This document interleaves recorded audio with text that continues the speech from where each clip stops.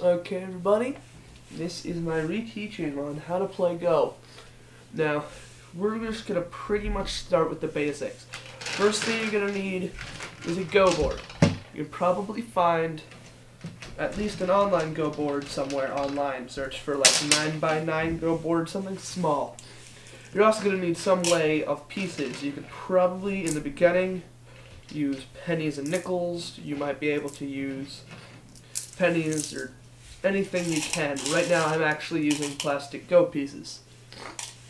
Now the first thing you probably should learn about Go, and this is just simple basics, is that you place the piece not in the squares, but on the lines.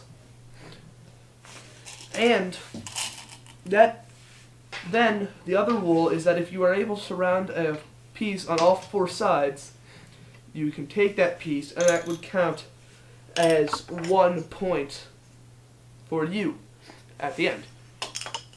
So, you all at home figuring out how to play, a game would look something like this.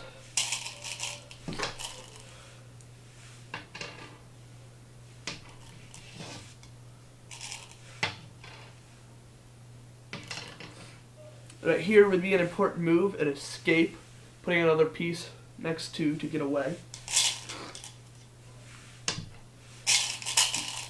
And you would go on until somebody captured a piece.